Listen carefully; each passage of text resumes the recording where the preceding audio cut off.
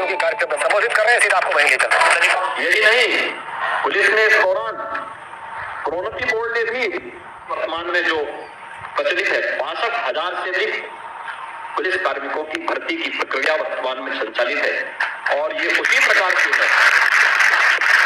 पूरी ईमानदारी के साथ, पूरी पारदर्शिता के साथ, पूरी स्वच्छता पूर्ण तरीके से टेक्नोलॉजी का उपयोग करते हुए पूरी प्रक्रिया संपादित हो रही है।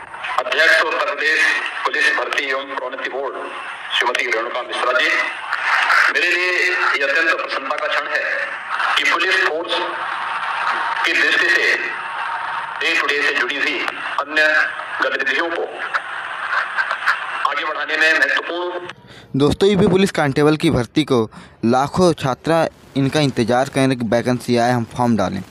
दोस्तों, हम आपको बता दें कि वैकेंसी जल्द से जल्द आने वाली है। जो कि अगस्त के दूसरे सप्ताह में आपको नोटिफिकेशन के माध्यम से देखा जा सकता है। दोस्तों, अगस्त में शुरू होने के आसार है। दोस्तों 2017 से मुख्यमंत्री योगी आदित्यनाथ के सीएम बनने के बाद योगी सरकार ने यूपी में एक लाख पचहत्तर हज़ार भर्ती पुलिस विभाग को दी है। दोस्तों, अगस्त महीने में दूसरे सप्ताह में वैकेंसी आने पक्का है। दोस्तों, हम उम्मीद करते हैं कि वैकेंसी आ जाए। अब सरकार अगर ना टलाए अपनी बातों से तो हो सके आ जाएगा वैकेंसी आप लोग जारी रखिए कंटिन्यू रखिए, पढ़ाई पक्का वैकेंसी आने के, आने की पूरी की पूरी उम्मीद है। दोस्तों, आपको अगर मेरी वीडियो अच्छा लगा तो प्लीज़ लाइक सब्सक्राइब कीजिए। धन्यवाद।